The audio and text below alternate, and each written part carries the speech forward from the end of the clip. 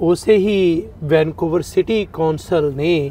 ਜਿਸ ਨੇ 1914 ਦੇ ਵਿੱਚ ਇਹ ਮਤਾ ਪਾਸ ਕੀਤਾ ਸੀ ਜੀ ਕਿ ਜਹਾਜ਼ ਨੂੰ ਧੱਕੇ ਨਾਲ ਮੁੜਿਆ ਜਾਵੇ ਉਸੇ ਹੀ ਕੌਂਸਲ ਦੇ ਵੱਲੋਂ। ਇਹ ਜਿਹੜਾ ਕੈਨੇਡਾ ਪੈਲੇਸ ਦਾ ਜਿਹੜਾ ਦੂਜਾ ਨਾਂ ਹੈ। ਗੁਰੂ ਨਾਨਕ ਜਹਾਜ਼ ਰੱਖਿਆ ਗਿਆ ਜੀ ਉਸੇ ਹੀ ਦੇਸ਼ ਦੀ ਪਾਰਲੀਮੈਂਟ। ਜਿਸ ਨੇ ਕੈਨੇਡਾ ਚੋਂ ਇਹ ਕਹਿ ਕੇ ਕਿ ਹਿੰਦੂ ਚਾਹੀਦੇ ਨਹੀਂ।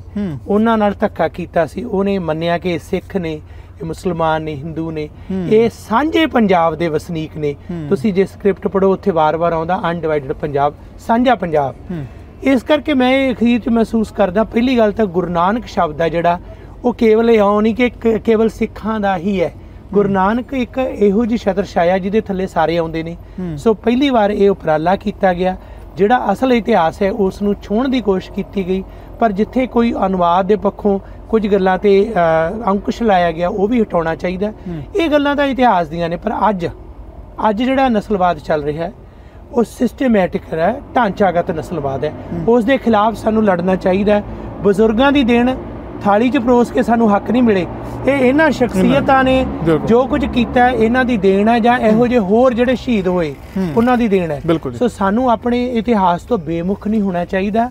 ਨਾਲ ਹੀ ਇਹ ਗੱਲ ਹੈ ਕਿ ਸਾਡੀ ਅਗਲੀ ਪੀੜ੍ਹੀ ਇਹ ਸਮਝੇ ਫਖਰ ਮਹਿਸੂਸ ਕਰੇ ਕਿ ਜਿਨ੍ਹਾਂ ਲੋਕਾਂ ਨੇ ਸਟਰਗਲ ਕੀਤਾ ਇਸ ਥਾਂ ਤੇ ਆ ਕੇ ਇਹ ਯਾਦਾਂ ਨੂੰ ਦੇਖੇ।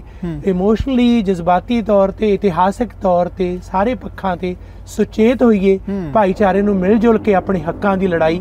ਜਾਰੀ ਰੱਖਣੀ ਚਾਹੀਦੀ ਹੈ ਇਹੀ ਮੈਂ ਸਮਝਦਾ ਅੱਜ ਲੋੜ ਹੈ ਡਾਕਟਰ ਸਾਹਿਬ ਤੁਹਾਡਾ ਅੱਜ ਇੱਥੇ ਆ ਕੇ ਤੁਸੀਂ ਸਪੈਸ਼ਲ ਸਾਡੇ ਨਾਲ ਸਮਾਂ ਕੱਢਿਆ ਬਹੁਤ ਧੰਨਵਾਦ ਜੀ ਮਿਹਰਬਾਨੀ ਬਹੁਤ। ਸ਼ੁਕਰੀਆ ਜੀ ਧੰਨਵਾਦ